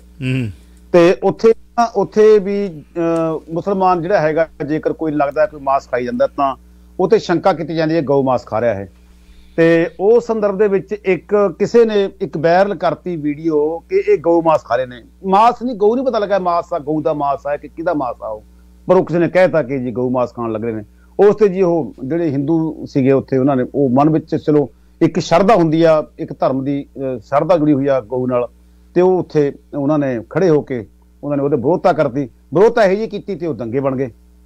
ਦੰਗੇ ਵਾਹਵਾ ਵੱਡੇ ਹੋ ਗਏ। ਨੇਪਾਲ ਦੇ ਵਿੱਚ ਕਾਫੀ ਦੰਗੇ ਹੋਏ ਇਸ ਸੰਦਰਭ ਦੇ ਵਿੱਚ ਤੇ ਲਗਾਤਾਰ ਚੱਲ ਰਹੇ ਨੇ ਮਰ ਕੇ ਅੱਜ ਤਰੀ ਇਹ ਤਕਰੀਬਨ 3-4 ਦਿਨ ਤੋਂ ਲਗਾਤਾਰ ਚੱਲ ਰਹੇ ਨੇ ਕੱਲ ਵੀ ਦੰਗੇ ਹੋਏ ਨੇ ਤੇ ਬੇਸ਼ੱਕ ਕਿਉਂਕਿ ਭਾਰਤ ਵਾਲੇ ਪਾਸਿਓਂ ਜ਼ਿਆਦਾ ਖਤਰਾ ਹੈ ਫਿਰ ਨੇਪਾਲ ਨੂੰ, ਕਿਉਂਕਿ ਭਾਰਤ ਵਿੱਚ ਜਿਹੜਾ ਹਿੰਦੂ ਜ਼ਿਆਦਾ ਗਿਣਤੀ 'ਚ ਹੈਗੇ ਆ, ਉਹਨਾਂ ਨੂੰ ਇਹ ਖਤਰਾ ਕਿਤੇ ਭਾਰਤ ਵਾਲੇ ਪਾਸਿਓਂ ਨਾ ਨੇਪਾਲ ਦੇ ਵਿੱਚ ਆ ਕੇ ਕੋਈ ਪ੍ਰੋਬਲਮ ਖੜੀ ਕਰ ਦਵੇ ਜਿਹੜਾ ਹਿੰਦੂ ਹੈਗਾ ਇਸ ਕਰਕੇ ਉਹਨਾਂ ਨੇ ਆਪਣਾ ਬਾਰਡਰ ਸੀਲ ਕਰ ਲਿਆ ਭਾਰਤ ਵਾਲੇ ਪਾਸਿਓਂ ਵੀ ਕੋਈ ਇੱਧਰ ਭਾਰਤ ਦਾ ਬੰਦਾ ਕੋਈ ਇੱਧਰ ਨਹੀਂ ਆਵੇਗਾ। ਦੂਜੇ ਪਾਸੇ ਚਾਲਾ ਸਾਹਿਬ ਗੱਲ ਇਹ ਆ ਵੀ ਉਹਦੀ ਚਰਚਾ ਜਿਹੜੀ ਹੈਗੀ ਆ, ਉਹ ਯੂਪੀ ਦੇ ਵਿੱਚ ਵੀ ਹੈਗੀ ਯੂਪੀ ਦੇ ਵਿੱਚ ਮੁਸਲਮਾਨ ਕਾਫੀ ਨੇ। ਤੇ ਇਸ ਕਰਕੇ ਕਈ ਸਾਰੇ ਜ਼ਿਲ੍ਹਿਆਂ ਦੇ ਵਿੱਚ ਯੂਪੀ ਦੇ ਕਈ ਸਾਰੇ ਜ਼ਿਲ੍ਹਿਆਂ ਦੇ ਵਿੱਚ, ਸਹਾਰਨਪੁਰ ਵਰਗੇ ਜ਼ਿਲ੍ਹਿਆਂ ਦੇ ਵਿੱਚ ਉਹਨਾਂ ਨੇ ਹਾਈਲਾਈਟ ਕੀਤਾ ਤੇ ਉੱਥੇ ਪੁਲਿਸ ਕਾਫੀ ਤਨਾਤ ਕੀਤੀ ਹੋਈ ਆ। ਕਿਧਰੇ ਕੋਈ ਯੂਪੀ ਦੇ ਵਿੱਚ, ਕਿਉਂਕਿ ਗੁੱਸਾ ਹੈਗਾ ਨੇਪਾਲ ਦੇ ਉੱਪਰ। ਕਿਤੇ ਇਹ ਯੂਪੀ ਦੇ ਵਿੱਚ ਨਾ ਗੁੱਸਾ ਕੱਢ ਲਿਆ ਜਾਵੇ ਆਪ ਦੰਗੇ ਹੋ ਜਾਣ ਇਹ ਯੂਪੀ ਦੇ ਵਿੱਚ ਵੀ ਹਾਈਲਾਈਟ ਕਰਤਾ ਗਿਆ ਇਹ ਇਹ ਦੰਗੇ ਜਿਹੜੇ ਭੜਕਣ ਦਾ ਕਾਰਨ ਵੈਸੇ ਗਊ ਮਾਸ ਕਿਹਾ ਜਾ ਰਿਹਾ ਪਰ ਇਹ ਵੀ ਨਾਲ ਆਖੀ ਜਾ ਰਹੀ ਹੈ ਗੱਲ ਕਿ ਗਊ ਮਾਸ ਕਿੱਥੇ ਸੀਗਾ ਉਹਦਾ ਸਿਰਫ ਇੱਕ ਬੰਦੇ ਨੇ ਬੋਲਿਆ ਹੈਗਾ ਵੀ ਇਹ ਗਊ ਮਾਸ ਹੈ ਪਰ ਉਹ ਥੋੜਾ ਵੀ ਉੱਥੇ ਅੱਗੇ ਵੀ ਗਊ ਦਾ ਮਾਸ ਹੀ ਹੈ ਕਹਿੰਦਾ ਕੋਈ ਹੋਰ ਮਾਸ ਵੀ ਹੋ ਸਕਦਾ ਹੋ ਚਾਵਲਾ ਸਾਹਿਬ ਉਹ ਅਮਨ ਜੀ ਦੀ ਫੇਰ ਗੱਲ ਯਾਦ ਆ ਗਈ ਹੈ ਖਾਣਾ ਕੀ ਖਾਣਾ ਸੁਣਿਆ ਬੀਫ ਖਾਣਾ 9058131320 905 813 1320 ਤੇ ਤੁਸੀਂ ਕਾਲ ਕਰ ਸਕਦੇ। ਅੱਛਾ, ਇੱਕ ਬੜਾ ਅਜੀਬੋ ਗਰੀਬ ਮਤਲਬ ਖਬਰ ਹੈ। ਉਹ ਤੇ ਤੁਹਾਡਾ ਵਿਚਾਰ ਜਾਨਣਾ ਚਾਹੁੰਦਾ। ਟੋਟਲ ਮੇਰੇ ਖਿਆਲ ਚ ਜੇ ਅਸੀਂ 9 ਮਹੀਨੇ ਦਾ ਬੱਚਾ ਮਾਂ ਦੀ ਪੇਟ ਦੇ ਵਿੱਚ ਹੁੰਦਾ ਹੈ, ਇਹ 9 ਚੌਕਾ 36 ਹਫ਼ਤੇ ਬਣਦੇ ਨੇ। ਕੋਈ 35 ਚ ਆ ਜਾਂਦਾ, ਕੋਈ 36 ਚ ਵੀ ਆ ਜਾਂਦਾ। ਕੋਈ ਇੱਕ ਦੋ ਦਿਨ ਵੱਧ ਵੀ ਬੱਚਾ ਧਰਤੀ ਤੇ ਆਉਣ ਲੱਗਿਆ। ਡਿਪੈਂਡ ਹਾਂਜੀ ਕੈਲਕੂਲੇਸ਼ਨ ਦੇ ਉੱਤੇ। ਪਰ ਸੁਪਰੀਮ ਕੋਰਟ ਨੇ ਇੱਕ 26 ਹਫ਼ਤੇ ਦੀ ਗਰਭਵਤੀ ਮਹਿਲਾ ਨੂੰ ਅਬੋਰਸ਼ਨ ਕਰਾਉਣ ਦੀ ਇਜਾਜ਼ਤ ਦੇ ਦਿੱਤੀ ਹੈ। 26 ਹਫ਼ਤੇ 10 ਹਫ਼ਤੇ ਰਹਿੰਦੇ ਨੇ ਬੱਚੇ ਦੇ ਪੈਦਾ ਹੋਣ ਦੇ ਵਿੱਚ। ਬਿਲਕੁਲ ਸਾਹਿਬ ਇਹ ਅਸਲ ਔਰ ਮਹਿਲਾ ਨੇ ਬੱਚੇ ਨੂੰ ਟਰਮੀਨੇਟ ਕਰਨ ਦੀ ਪਾਈ ਸੀ ਪਟੀਸ਼ਨ ਕੀ ਹੈ ਮਾਮਲਾ ਹਾਂ, ਬਿਲਕੁਲ ਚਲੋ। ਅਸਲ ਵਿੱਚ ਨਾ ਜੀ ਇਹ ਜਿਹੜੀ ਔਰਤ ਹੈਗੀ ਆ ਨਾ ਜੀ ਇਹ ਆਮ ਇਹ ਇਹ ਆਮ ਪਰਿਵਾਰਾਂ ਦੇ ਵਿੱਚੋਂ ਔਰਤ ਆ। ਘਰ ਵਾਲਾ ਜਿਹੜਾ ਹੈਗਾ ਕੋਈ ਬਹੁਤਾ ਕੰਮ ਨਹੀਂ ਕਰਦਾ। ਤੇ ਦੋ ਬੱਚੇ ਇਹਦੇ ਕੋਲੇ ਪਹਿਲਾਂ ਹੈਗੇ ਆ। ਇੱਕ ਬੱਚਾ ਆਪਣਾ ਦੁੱਧ ਲੈ ਰਿਹਾ ਹਜੇ ਅਜੇ ਉਹ ਫੀਡ ਲੈ ਰਿਹਾ ਮਾਂ ਦੀ ਛਾਤੀ ਤੋਂ। ਤੇ ਇਸ ਕਰਕੇ ਉਹਨਾਂ ਦਾ ਉਹਨਾਂ ਦਾ ਜਿਹੜਾ ਕਿ ਉਹ ਸੀਗਾ ਵੀ ਮੈਂ ਇੱਕ ਇਹਨਾਂ ਬੱਚਿਆਂ ਨੂੰ ਦੋ ਬੱਚਿਆਂ ਨੂੰ ਬੜੀ ਔਖੀ ਪਾਲ ਰਹੀ ਆ ਉਹਨਾਂ ਨੇ ਪਟੀਸ਼ਨ ਪਾਈ ਸੀ ਸੁਪਰੀਮ ਕੋਰਟ ਦੇ ਵਿੱਚ। ਵੈਸੇ ਪਹਿਲਾਂ ਪਹਿਲਾਂ 10 ਤੋਂ ਲੈ ਕੇ 12 ਹਫ਼ਤਿਆਂ ਤੱਕ ਦਾ ਅਬੋਰਟ ਕਰਾਇਆ ਅਦਾਲਤਾਂ ਨੇ। 26 ਹਫ਼ਤਿਆਂ ਦਾ ਕੋਈ ਕੇਸ ਨਹੀਂ ਹੈਗਾ। ਹੁਣ ਤੱਕ ਭਾਰਤ ਵਿੱਚ 26 ਹਫ਼ਤਿਆਂ ਦਾ ਕੇਸ ਕੋਈ ਨਹੀਂ ਆਇਆ ਪਹਿਲਾ ਕੇਸ ਆਇਆ ਹੈ ਤੇ ਜਿਹੜਾ ਕਿ ਅਦਾਲਤ 'ਚ ਗਿਆ ਹੋਵੇ। ਤੇ ਉਹ ਉੱਥੇ ਉਹਨੇ ਔਰਤ ਨੇ ਇਹ ਫਰਿਆਦ ਕੀਤੀ ਸੀ ਕਿ ਅਦਾਲਤ ਕੋਲ ਵੀ ਮੈਂ ਇਹ ਅਬੋਰਟ ਨਹੀਂ ਕਰਾ ਸਕਦੀ ਬਿਨਾਂ ਤੁਹਾਡੀ ਇਜਾਜ਼ਤ ਤੋਂ ਤੇ ਇਹ ਮੈਨੂੰ ਇਜਾਜ਼ਤ ਦਿਓ। ਤਾਂ ਕਾਫੀ ਬਹਿਸ ਚੱਲੀ। ਉਸ ਸੰਦਰਭ ਵਿੱਚ ਉਹਨੂੰ ਕਿਹਾ ਗਿਆ ਵੀ ਤੂੰ ਤੂੰ ਬੱਚਾ ਭਾਵੇਂ ਨਾ ਪਾਲੀ ਬੱਚਾ ਕੋਈ ਹੋਰ ਪਾਲ ਲੇਗਾ ਤੇਰਾ ਕਿਸੇ ਹੋਰ ਲੋੜਵੰਦ ਨੂੰ ਬੱਚਾ ਦੇ ਦਿਆਂਗੇ। ਉਹ ਕਹਿੰਦੀ ਵੀ ਨਹੀਂ ਜੇ ਮੈਂ ਕਿਸੇ ਹੋਰ ਲੋੜਵੰਦ ਨੂੰ ਬੱਚਾ ਦਵਾਂਗੀ ਮੈਂ ਤਾਂ ਮੇਰੀ ਭਾਵਨਾ ਤਾਂ ਉੱਥੇ ਰਹੇਗੀ ਨਾ ਮੇਰਾ ਬੱਚਾ ਫਲਾਣੇ ਨਾਲ ਤੇ ਇਸ ਕਰਕੇ ਮੈਂ ਬੱਚਾ ਇਹ ਜਨਮ ਨਹੀਂ ਦੇਣਾ ਚਾਹੁੰਦੀ ਬੱਚੇ ਨੂੰ ਮੇਰਾ ਇਹ ਅਬੋਰਸ਼ਨ ਤੇ ਕਾਫੀ ਦਲੀਲਾਂ ਵਕੀਲਾਂ ਦੀਆਂ ਦਲੀਲਾਂ ਤੋਂ ਬਾਅਦ ਇਹ ਫੈਸਲਾ ਕੀਤਾ ਸੁਪਰੀਮ ਕੋਰਟ ਨੇ ਕਿ ਅਬੋਰਟ ਕਰਾ ਸਕਦੀ ਹੈ। ਟਰਮੀਨਲ ਬੱਚੇ ਨੂੰ ਕਰ ਸਕਦੀ ਹੈ। ਬੱਚੇ ਨੂੰ ਜਿਹੜਾ ਇਸ ਤਰੀਕੇ ਦੇ ਨਾਲ ਹੁਣ ਜਾਇਆ ਕਰਨਾ ਮਾਂ ਨੂੰ ਸ਼ਾਇਦ ਇਹ ਵੇਖ ਲੈਣਾ ਚਾਹੀਦਾ ਕਿ ਧਰਤੀ ਤੇ ਆਉਣ ਵਾਲਾ ਬੱਚਾ ਜਿਹੜਾ ਹੈ ਉਹ ਆਪਣੀ ਕਰਮ ਨਾਲ ਲੈ ਕੇ ਆਉਂਦਾ ਹਾਂਜੀ। ਭਾਜੀ ਬਸ ਮਾਂ ਨੂੰ ਸਮਝਾਵੇ ਤਾਂ ਕੋਈ ਸਮਝਾਉਣ ਮਾਂ ਵਾਲਾ ਮਾਂ ਮਾਂ ਬਾਪ ਕਹਿੰਦੇ ਨੇ ਕਿ ਅਸੀਂ ਪਹਿਲਾਂ ਹੀ ਦੋ ਨੂੰ ਬੜੀ ਮੁਸ਼ਕਲ ਪਾ ਰਹੇ ਆ ਤੇ ਸੁਪਰੀਮ ਕੋਰਟ ਦੇ ਵਿੱਚ ਅਰਜੀ ਪਾਉਣ ਜੋਗੇ ਪੈਸੇ ਇਹਨਾਂ ਕੋਈ ਹੈਗੇ? ਵਕੀਲਾਂ ਉਹੀ ਤਾਂ ਗੱਲ ਹੈ। ਪਰ ਅਸਲ 'ਚ ਇਹ ਸਮਝ ਨਹੀਂ ਇਹ ਗੱਲ ਦੀ ਇਹਦੇ ਪਿੱਛੇ ਪਿਛੋਕੜ ਦੀ ਖਬਰ ਨੂੰ ਦੱਸਿਆ ਪਿਛੋਕੜ ਕੀ ਹੈ? ਪਿਛੋਕੜ ਸਿਰਫ ਦੱਸਿਆ ਕਿ ਮੈਂ ਬੱਚੇ ਪਾਲ ਨਹੀਂ ਸਕਦੀ ਚਲੋ। ਮੇਰਾ ਘਰ ਵਾਲਾ ਕੰਮ ਨਹੀਂ ਕਰਦਾ। Caller ਨੇ। ਹੁਣ ਘਰ ਜੀ। ਵੈਲਕਮ ਜੀ। ਹਾਂਜੀ ਸਤਿ ਸ਼੍ਰੀ ਅਕਾਲ ਜੀ। ਕਾਲ ਸਾਹਿਬ ਸਤਿ ਸ਼੍ਰੀ ਅਕਾਲ ਜੀ ਸਤਿ ਸ਼੍ਰੀ ਅਕਾਲ। ਹਾਂ ਸਾਹਿਬ ਸਤਿ ਸ਼੍ਰੀ ਅਕਾਲ? ਜੀ। ਤਾਂ ਪੀਟਰ ਸਾਹਿਬ ਅੱਜ ਸੰਜੇ ਸਿੰਘ ਦੀ ਕੋਰਟ ਦੇ ਪੇਸ਼ੀ ਹੋਇਆ ਕੀ ਕੀ ਹੋਇਆ? ਸੁਮੇਧ ਸੈਣੀ। ਸੰਜੇ ਸਿੰਘ ਜੀ? ਹਾਂਜੀ ਹਾਂਜੀ। ਉਹ ਕਰਦੇ ਆ ਗੱਲ ਨੋ ਪ੍ਰੋਬਲਮ ਥੈਂਕ ਯੂ ਹਾਂਜੀ ਸੰਜੇ ਸਿੰਘ ਹੁਣਾਂ ਦੀ ਅੱਜ ਸਿੰਘ ਦੀ ਜੀ। ਸੰਜੇ ਸਿੰਘ ਦਾ ਤਿੰਨ ਦਿਨ ਦਾ ਪੁਲਿਸ ਰਿਮਾਂਡ ਵੱਧ ਗਿਆ ਜੀ। ਹਾਂ ਹਾਂ। ਤਿੰਨ ਦਿਨਾਂ ਦਾ ਪੁਲਿਸ ਰਿਮਾਂਡ ਦੇਤਾ ਈਡੀ ਨੂੰ ਤੇ ਉਹ ਤਿੰਨ ਦਿਨ ਵਾਸਤੇ ਹੋਰ ਰਹਿਣਗੇ। ਬੇਸ਼ੱਕ ਉਹਨਾਂ ਦਾ ਪੁਲਿਸ ਰਿਮਾਂਡ ਨਹੀਂ ਉਹਦੇ ਵਿਰੁੱਧ ਵੀ ਚੱਲੀ ਸੀ ਗੱਲ ਵੀ ਪੁਲਿਸ ਰਿਮਾਂਡ ਸੀ ਕਿਵੇਂ ਦੇ ਰਹੇ ਹੋ। ਪਟੀਸ਼ਨ ਹੈ। ਪੰਜਾਂ ਨੇ। ਤੇ ਪਰ ਤਿੰਨ ਦਿਨਾਂ ਵਾਸਤੇ ਸੰਜੇ ਸਿੰਘ ਨੂੰ ਜੇਲ੍ਹ 'ਚ ਨਾ ਪੁਲਿਸ ਰਿਮਾਂਡ ਕੋਈ ਈਡੀ ਦੇ ਰਿਮਾਂਡ ਕੋਲ ਹੀ ਰਹੇਗਾ ਈਡੀ ਕੋਲੇ ਪੁੱਛਗਿੱਛ ਹੋਏਗੀ। ਕਹਿੰਦੇ ਉਹਨਾਂ ਦੇ ਨਾ ਕੋਈ ਪੁਰਾਣੇ ਮੋਬਾਈਲਾਂ ਦੇ ਨਾਲ ਕੋਈ ਜੋੜਨਾ ਹੈਗਾ ਅੰਕੜਾ। ਜਿਹੜੀ ਮੈਂ ਪੜ ਰਿਹਾ ਸੀਗਾ ਤੇ ਕੋਈ ਨਾ ਅਸਲ 'ਚ ਉਹ- ਈਡੀ ਨੇ ਕਿਹਾ ਵੀ ਇਹ ਕੋਈ ਨਾ ਸਹਿਯੋਗ ਨਹੀਂ ਕਰ ਰਿਹਾ ਇਹ ਸਾਡੇ ਨਾਲ। ਹੁਣ ਈਡੀ ਅਸਲ 'ਚ ਰਿਮਾਂਡ ਭਾਵੇਂ ਪੁਲਿਸ ਲੈਂਦੀ ਆ ਭਾਵੇਂ ਈਡੀ ਲੈਂਦੀ ਆ ਭਾਵੇਂ ਸੀਬੀਆਈ ਲੈਂਦੀ ਆ ਉਹਦਾ ਇੱਕ ਮਕਸਦ ਇੱਕ ਪੁਆਇੰਟ ਹੁੰਦਾ ਪਿੱਟ। ਉਹ ਲਫ਼ਜ਼ ਪੱਕਾ ਹੁੰਦਾ ਲੈਣ ਪੱਕੀ ਆ ਉਸ ਅਦਾਲਤਾਂ ਨੂੰ ਪੱਕੀ ਕਰ ਲੈਣੀ ਚਾਹੀਦੀ ਹੈ। ਉਹ ਇੱਕ ਗੱਲ ਕਹਿੰਦੀ ਹੈ ਕਿ ਸਾਨੂੰ ਸਹਿਯੋਗ ਨਹੀਂ ਕਰ ਰਹੇ ਜਾਂਚ ਦੇ ਵਿੱਚ। ਉਹ ਉਹ ਸਹਿਯੋਗ ਚਾਹੁੰਦੇ ਹੁੰਦੇ ਆ ਵੀ ਸਾਡੇ ਮੁਤਾਬਕ ਜਵਾਬ ਦਿਓ ਜੋ ਅਸੀਂ ਚਾਹੁੰਦੇ ਆ। ਹੁਣ ਉਹਦਾ, ਉਹਨਾਂ ਮੁਤਾਬਕ ਜਵਾਬ ਕਿਵੇਂ ਦੇਵੇਗਾ? ਕੋਈ ਕੋਈ ਬੰਦਾ ਨਹੀਂ ਹੁੰਦਾ। ਜੋ ਅਸਲੀ ਹੈ ਜਾਂ ਜੋ ਬੰਦਾ ਕਹਿਣਾ ਚਾਹੁੰਦਾ ਉਹ ਕਹੇਗਾ ਨਾ ਜੀ। ਅਦਾਲਤਾਂ ਦੇ ਵਿੱਚ ਵੀ ਇਹ ਇਹ ਟਰਮ ਹੈਗੀ ਆ ਕਿ ਕਿਸੇ ਬੰਦੇ ਨੂੰ ਤੁਸੀਂ ਜ਼ਬਰਦਸਤੀ ਨਹੀਂ ਮਜਬੂਰ ਕਰ ਸਕਦੇ, ਉਹਨੂੰ ਬੋਲਣ ਵਾਸਤੇ ਚੁੱਪ ਵੀ ਰਹਿ ਸਕਦਾ ਬੰਦਾ। ਪਰ ਉਹ ਕਹਿੰਦੇ ਵੀ ਸਾਨੂੰ ਸਹਿਯੋਗ ਨਹੀਂ ਕਰ ਰਿਹਾ। ਇਸ ਕਰਕੇ ਸਾਨੂੰ ਹੋਰ ਰਿਮਾਂਡ ਚਾਹੀਦਾ। ਜੀ ਜੀ। ਤੇ ਮੰਗਿਆ ਤਾਂ ਸਾਧਨਾ ਸੀਗਾ ਪਰ ਤਿੰਨ ਦਿਨਾਂ ਦਾ ਪੁਲਿਸ ਰਿਮਾਂਡ ਦਿੱਤਾ। ਬੇਸ਼ੱਕ ਸੰਜੇ ਸਿੰਘ ਨੇ ਗੱਲ ਇਹ ਆਖੀ ਆ ਕਿ ਅ, ਬੇਈਮਾਨ ਲੋਕ ਜਿਹੜੇ ਹੈਗੇ ਨੇ ਉਹ ਮੋਦੀ। ਨਾਲ ਨੇ ਇਮਾਨਦਾਰ ਲੋਕ ਸਾਡੇ ਨਾਲ ਨੇ। ਚਲੋ ਆਪਾਂ ਅਗਲੀ ਕਾਲ ਲੈ ਲੈਣੇ ਆ ਵੈਲਕਮ ਜੀ। ਚਲੋ ਜੀ ਸਤਿ ਸ਼੍ਰੀ ਅਕਾਲ ਅਕੀਦਾ ਜੀ ਸਤਿ ਸ਼੍ਰੀ ਅਕਾਲ ਜੀ। ਸਤਿ ਸ਼੍ਰੀ ਅਕਾਲ ਵੀਰੇ। ਅਕੀਦਾ ਸਾਹਿਬ ਇੱਕ ਗੱਲ ਮੈਂ ਮੈ- ਮੈਨੂੰ ਮਾੜਾ ਜਿਹਾ ਦੱਸਿਓ ਵੀ ਇੱਕ ਤਾਂ ਨੇਪਾਲ ਦੇ ਵਿੱਚ ਇੱਕ ਮੰਦਿਰ ਆ ਜਿੱਥੇ ਹਰ ਸਾਲ ਨਰਬਲੀ ਪਸ਼ੂ ਦੀ ਬਲੀ ਦਿੱਤੀ ਜਾਂਦੀ ਹੈ ਪਸ਼ੂ। ਬਲੀ। ਹਾਂਜੀ ਉੱਥੇ ਝੋਟੇ ਦੀ ਖਣੀ ਕਿਹੜੇ ਦੀ ਹੈਗੀ ਆ ਤੇ ਇੱਕ ਵਾਰੀ ਮੋਦੀ ਸਾਹਿਬ ਵੀ ਗਏ ਸੀ ਉਹਨਾਂ ਸਮਿਆਂ ਦੇ ਵਿੱਚ ਤੇ ਉਹ ਉੱਥੇ ਬਲੀ ਦਿੱਤੀ ਜਾਂਦੀ ਆ ਤੇ ਉਹ ਕੀ ਪਤਾ ਵੀ ਮਾਸ ਉਹਦਾ ਹੀ ਹੋਵੇ। ਚਲੋ ਹੁਣ ਬਾਕੀ ਇੱਕ ਗੱਲ ਹੋਰ ਵੀ ਇੰਡੀਆ ਦੇ ਵਿੱਚ ਇੰਡੀਆ ਬੀਫ ਦਾ ਸਭ ਤੋਂ ਵੱਡਾ ਐਕਸਪੋਰਟਰ ਆ। ਤੇ ਉਹਦੇ ਵਿੱਚ ਜਿਹੜੇ 8-9 ਬੀਫ ਦੇ ਕਾਰਖਾਨੇ ਹੈਗੇ ਆ ਉਹ ਸਾਰੇ ਜਿਹੜੇ ਹੈਗੇ ਆ ਹੈ ਹਿੰਦੂਆਂ ਦੇ ਆ ਤੇ ਨਾ ਮੁਸਲਮਾਨੀ ਰੱਖੇ ਹੋਏ ਆ। ਤੇ ਕੀ ਗੱਲ ਉਹਦੇ ਬਾਰੇ ਕੋਈ ਜਿਹੜਾ ਹਿੰਦੂ ਮਹਾਸਭਾ ਇਹਨਾਂ ਦੀ ਕੋਈ ਜਿਹੜੇ ਵੀ ਹੈਗੇ ਆ ਉਹਦੇ ਬਾਰੇ ਕੋਈ ਗੱਲਬਾਤ ਕਿਉਂ ਨਹੀਂ ਕਰਦੇ ਜੀ? ਜੇ ਇਹਨਾਂ ਨੂੰ ਜ਼ਿਆਦਾ ਸ਼ੌਕ ਆ ਬੀਫ ਨੂੰ ਬੰਦ ਕਰਨ ਦਾ ਜੀ। ਕੀ। ਖਿਆਲ ਆ ਤੁਹਾਡਾ? ਇਹ ਤਾਂ ਜੀ ਵੱਡੀਆਂ ਰਿਪੋਰਟਾਂ ਨਸ਼ਰ ਹੋ ਚੁੱਕੀਆਂ ਨੇ ਜੀ ਮੀਡੀਆ ਨੇ ਵੀ ਬਹੁਤ ਰਿਪੋਰਟਾਂ ਨਸ਼ਰ ਕੀਤੀਆਂ ਨੇ ਜੀ ਇਹ ਪਰ ਅਸਲ ਵਿੱਚ ਇੰਡੀਆ ਦਾ ਇੱਕ ਇਹੋ ਜਿਹਾ ਮਤਲਬ ਕਿ ਵੀ ਮਾੜਾ ਕਲਚਰ ਵੀ ਹੈਗਾ ਕਿ ਅਸੀਂ ਪ੍ਰਭਾਵ, ਅਮੀਰੀ ਪੈਸਾ ਤੇ ਸਿਫਾਰਸ਼ਾਂ ਦੇ ਵਿੱਚ ਅਸੀਂ ਜ਼ਰੂਰ ਮੰਨਦੇ ਹਾਂ ਜੀ ਅਸੀਂ, ਚੱਲਦੇ ਹਾਂ। ਜਿੱਥੇ ਬਹੁਤ ਜ਼ਿਆਦਾ ਪ੍ਰਭਾਵ ਹੈਗਾ ਜੀ ਵੈਸੇ ਤਾਂ ਅਸੀਂ ਲਵ ਜਿਹਾਦ ਦੀ ਕੁੜੀਆਂ ਦੇ ਨਾਲ, ਜਿਹੜੀਆਂ ਗਰੀਬਾਂ ਦੀ ਕੁੜੀ ਜੇ ਕੋਈ ਵਿਆਹ ਕਰਾ ਲਵੇ ਕਿਸੇ ਮੁਸਲਮਾਨ ਦੇ ਨਾਲ, ਤਾਂ ਉਹਦਾ ਲਵ ਜਿਹਾਦ ਬਣਾ ਕੇ ਅੰਦਰ ਕਰ ਦਿੰਦੇ ਆ ਅਸੀਂ। ਪਰ ਸਾਡੇ ਜਿਹੜੇ ਜਿਹੜੇ ਲੀਡਰ ਹੈਗੇ, ਉਹਨਾਂ ਦੇ ਘਰਾਂ ਵਿੱਚ ਮੁਸਲਮਾਨਾਂ ਦੀਆਂ ਕੁੜੀਆਂ ਵੀ ਹੈਗੀਆਂ ਨੇ। ਮੁਸਲਮਾਨਾਂ ਦੇ ਜਿਹੜੇ ਜਿਹੜੀਆਂ ਉਹਨਾਂ ਦੇ ਕੁੜੀਆਂ ਜਿਹੜੀਆਂ ਹੈਗੀਆਂ ਮੁਸਲਮਾਨਾਂ ਦੇ ਨਾਲ ਬਹਿਆਂ ਨੇ ਉਹ ਵੱਖਰੀ ਵੱਖਰੀ ਗੱਲ ਆ। ਬਾਕੀ ਸਾਡੇ ਸਾਡੇ ਵੱਖਰੇ ਵੱਖਰੇ ਸਿਧਾਂਤ ਨੇ ਜੀ। ਅਮੀਰਾਂ ਦਾ ਸਿਧਾਂਤ ਹੋ ਰਿਹਾ ਜੀ ਗਰੀਬਾਂ ਦਾ ਸਿਧਾਂਤ ਹੋ ਰਿਹਾ ਜੀ। ਮੁੰਬਈ ਦੇ ਵਿੱਚ ਸਿਧਾਂਤ ਹੋ ਰਿਹਾ ਅਗਲੀ ਕਾਲ ਲੈ ਲੈਣੇ ਆ ਜੀ। ਵੈਲਕਮ ਜੀ ਸਵਾਗਤ ਹੈ। ਸਤਿ ਸ੍ਰੀ ਅਕਾਲ। ਸਤਿ ਸ੍ਰੀ ਅਕਾਲ ਕੀਦਾ ਜੀ ਬਸੌਰੀ ਆਪਣਾ ਚਾਵਲਾ ਸਾਹਿਬ ਤੇ ਕੀਦਾ ਜੀ ਸਤਿ ਸ੍ਰੀ ਅਕਾਲ ਗੁੱਡ ਮਾਰਨਿੰਗ ਗੁੱਡ ਈਵਨਿੰਗ। ਥੋੜਾ ਅਕਾਲ ਲੇਟ। ਮੈਂ ਹੋ ਗਿਆ ਵਧਾਈ ਦੇਣ ਨੂੰ ਕਿ ਏਸ਼ੀਆ ਜਿਹੜਾ ਰਿਕਾਰਡ ਬੰਨਿਆ ਇੱਕ ਦੋ ਫੰਕਸ਼ਨ ਦੇ ਫਸੇ ਪਏ ਸੀਗੇ। ਬਹੁਤ ਵਧੀਆ ਵਧਾਈ ਹੈ ਤੁਹਾਡੇ ਵਾਸਤੇ ਪਟਿਆਲੇ ਦਾ ਬਹੁਤ ਦੇ ਦੇਣ ਹੈ ਕਿਉਂਕਿ ਸਭ ਤੋਂ ਪਹਿਲੀ ਏਸ਼ੀਅਨ ਗੇਮ ਮੇਰੇ ਖਿਆਲ ਚ ਪਟਿਆਲਾ ਵਿੱਚ ਰਾਜਾ ਭਲਿੰਦਰ ਸਿੰਘ ਨੇ ਕਰਾਈ ਸੀਗੀ। ਬਾਕੀ ਤੁਹਾਨੂੰ ਪਤਾ ਹੋਊਗਾ। ਪਰ ਜੇ ਸੈਂਟਰ ਸਰਕਾਰ ਥੋੜਾ ਠੀਕ ਰੱਖਦੀ ਤਾਂ ਸ਼ਾਇਦ ਅਸੀਂ 10 ਡਾਲਰ 10 골ਡ ਮੈਡਲ ਹੋਰ ਲੈ ਲੈਂਦੇ। ਹੂੰ ਹੂੰ। ਰੈਸਲਿੰਗ ਵਾਲੇ ਤੇ ਅਨੁਚਲ ਵਾਲੇ। ਹੂੰ ਹੂੰ। ਉਹ ਗਵਰਨਮੈਂਟ ਦੀ ਕਤਾਹੀ ਨਾਲ ਗਵਰਨਮੈਂਟ ਦੀ ਗਲਤੀ ਨਾਲ ਸਾਡੇ 골ਡ ਮੈਡਲ ਜਾਂਦੇ ਰਹੇ। ਮੈਂ ਕੀਜਾ ਜੀ ਤੁਹਾਨੂੰ ਬਹੁਤ ਵਧਾਈ ਦਿੰਦਾ ਕਿਉਂਕਿ ਪਟਿਆਲਾ ਜਿਹੜਾ ਸ਼ਹਿਰ ਹੈ ਇਹ ਗੇਮਾਂ ਦਾ ਗੜ ਹੈ ਹਿੰਦੁਸਤਾਨ ਚ। ਥੈਂਕ ਯੂ ਵੈਰੀ ਮਿਹਰਬਾਨੀ thank you so nice sir ਕੀ ਬਾਤ ਆ। ਇੱਕ ਹੋਰ ਜਾਣਕਾਰੀ ਤੁਹਾਨੂੰ ਦੇ ਦਿਆਂ ਮੈਂ। ਕਿ ਏਸ਼ੀਅਨ ਗੇਮਾਂ ਤੋਂ ਪਹਿਲਾਂ ਵੀ ਕ੍ਰਿਕਟ ਦੀ ਜਿਹੜੀ ਕ੍ਰਿਕਟ ਦੀਆਂ ਗੇਮਾਂ ਹੋਈਆਂ ਸੀਗੀਆਂ ਸਭ ਤੋਂ ਪਹਿਲਾਂ ਪਟਿਆਲੇ ਵਿੱਚ ਹੋਈਆਂ ਸੀਗੀਆਂ। ਮਹਾਰਾਜਾ ਭੁਪਿੰਦਰ ਸਿੰਘ ਨੇ ਕਰਾਈਆਂ ਸੀਗੀਆਂ। ਪਟਿਆਲੇ ਸਰਦਾਰ ਸੀ ਉਹਨਾਂ ਕ੍ਰਿਕਟ ਦੀ ਬਲਕਿ ਅੰਤਰਰਾਸ਼ਟਰੀ ਟੀਮ ਸੀਗੀ ਭਾਰਤ ਦੀ ਜਿਹੜਾ ਕਿ ਉਹਦੇ ਵਿੱਚ ਸਰਦਾਰ ਸੀਗੇ। ਖਾਸ ਕਰਕੇ ਪਟਿਆਲੇ ਸਰਦਾਰ ਸੀ ਕਈ ਸਾਰੇ ਉਹਦੇ ਵਿੱਚ। ਉਹ ਮਹਾਰਾਜਾ ਭੁਪਿੰਦਰ ਸਿੰਘ ਦੇ ਦੇਣ ਉਹਦੇ ਵਿੱਚ। ਤੇ ਪਟਿਆਲੇ ਵਿੱਚ ਅੱਜ ਵੀ ਧਰੂਬ ਜਿਹੜਾ ਕਿ ਧਰੂਬ ਸਟੇਡੀਅਮ ਹੈਗਾ ਕ੍ਰਿਕਟ ਦਾ। ਬੜਾ ਪੁਰਾਣਾ ਸਟੇਡੀਅਮ ਹੈਗਾ ਅੱਜ ਵੀ ਉਹ ਚੱਲ ਰਿਹਾ ਉੱਥੇ ਅੱਜ ਵੀ ਕ੍ਰਿਕਟ ਖੇਡੀ ਜਾਂਦੀ ਹੈ ਚਾਵਲਾ ਸਾਹਿਬ। ਐਨਆਈਐਸ ਲੈ ਲਓ ਤੁਸੀਂ। ਪਟਿਆਲੇ ਵਿੱਚ ਤੇ ਪੁੱਲ ਹਾਰਸ ਪੋਲੋ। ਘੋੜਿਆਂ ਤੇ ਖੇਡੀ ਜਾਂਦੀ ਪੋਲੋ ਦਾ ਗਰਾਊਂਡ ਵੀ ਪਟਿਆਲੇ ਵਿੱਚ ਹੈਗਾ। ਤੇ ਪੋਲੋ ਗਰਾਊਂਡ ਰਾਜਾ ਭਲਿੰਦਰਾ ਜਿਹੜਾ ਕਿ ਤੁਸੀਂ ਇਹ ਗੱਲ ਕੀਤੀ ਹੈ ਵੀ ਏਸ਼ੀਅਨ ਗੇਮ ਵਾਲਾ ਉਹ ਵੀ ਪਟਿਆਲੇ ਦੇ ਵਿੱਚ ਹੈਗਾ ਰਾਜਾ ਭਲਿੰਦਰਾ ਪਟਿਆਲੇ ਦੇ ਵਿੱਚ ਖੇਡਾਂ ਦਾ ਇੱਕ ਯੂਨੀਵਰਸਿਟੀ ਆ ਯੂਨੀਵਰਸਿਟੀ ਬਣ ਗਈ ਖੇਡਾਂ ਦੀ। ਮਹਾਰਾਜਾ ਭੁਪਿੰਦਰ ਭੁਪਿੰਦਰ ਸਿੰਘ ਸਪੋਰਟਸ ਯੂਨੀਵਰਸਿਟੀ ਪਟਿਆਲਾ ਵਿੱਚ ਬਣ ਚੁੱਕੀ ਆ।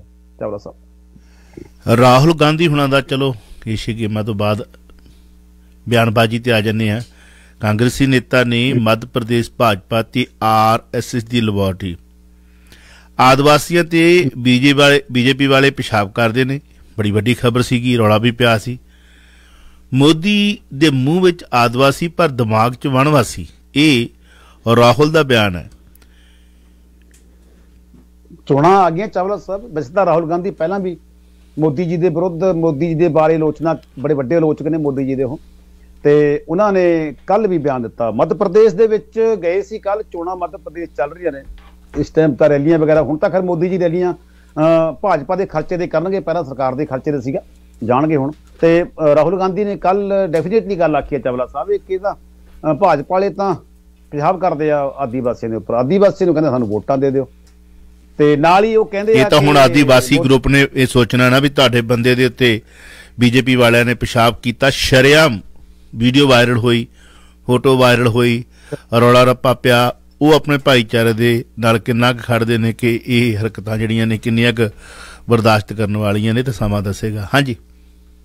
ਔਖੇ ਵਾਲੀ ਗੱਲ ਸੁਲਝਣਾ ਚਾਵਲਾ ਸਾਹਿਬ ਆਦੀਵਾਸੀ ਸਾਡੇ ਨਾ ਅਸੀਂ ਮੌਕੇ ਦੇ ਪ੍ਰਭਾਵ ਹੇਠ ਚੱਲਦੇ ਆ ਇੱਕ। ਮਹੀਨੇ ਦੇ ਖੜਕੇ ਦੇ ਵਿੱਚ। ਇੱਕ ਮਹੀਨਾ ਖੜਕਾ ਹੁੰਦਾ।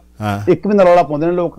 ਰੌਲਾ ਇੰਨਾ ਪੈਂਦਾ ਕਿ ਲੋਕ ਭੁੱਲ ਜਾਂਦੇ ਆ ਪੁਰਾਣੀਆਂ ਗੱਲਾਂ। ਦਿਮਾਗ ਤੇ ਉਹ ਕੱਢ ਲੋਕ।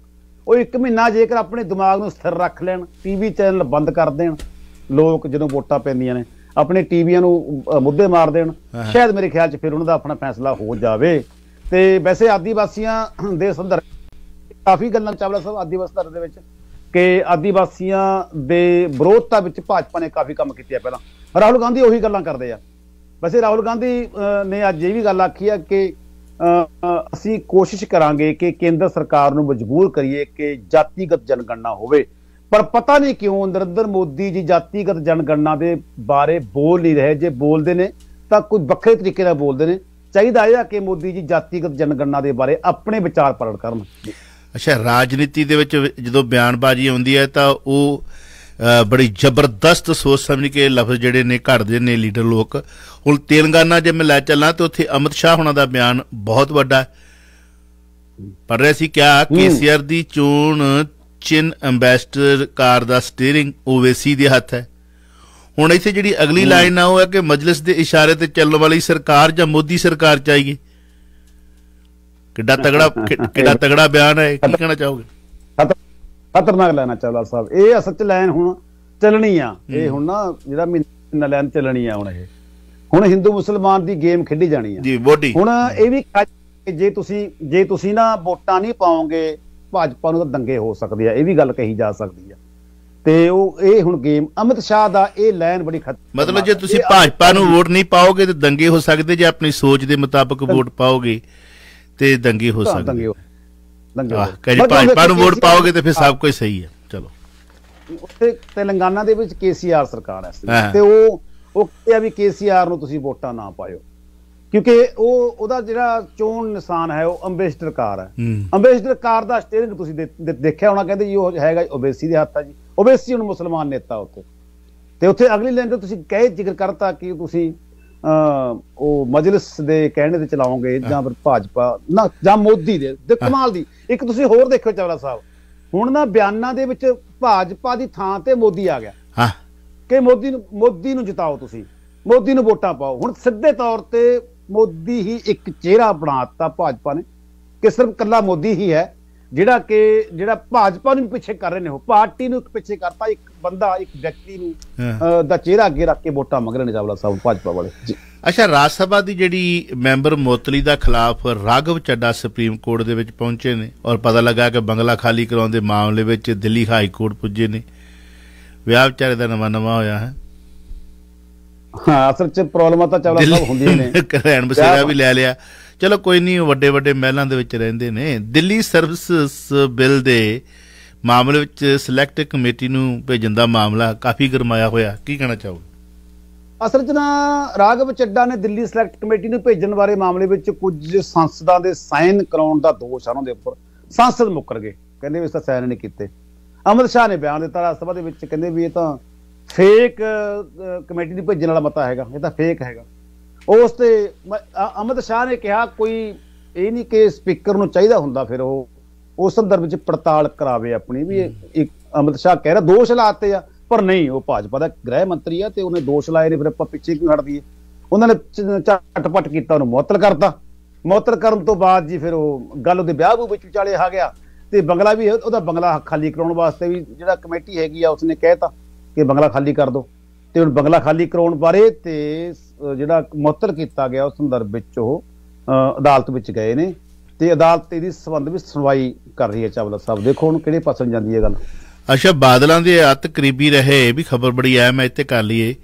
ਆਈਏਐਸ ਅਧਿਕਾਰੀ ਗਗਨਦੀਪ ਸਿੰਘ ਬਰਾੜ ਪਤਾ ਲੱਗਾ ਕਿ ਵਿਜੀਲੈਂਸ ਵੱਲੋਂ ਤਲਬ ਹੈ।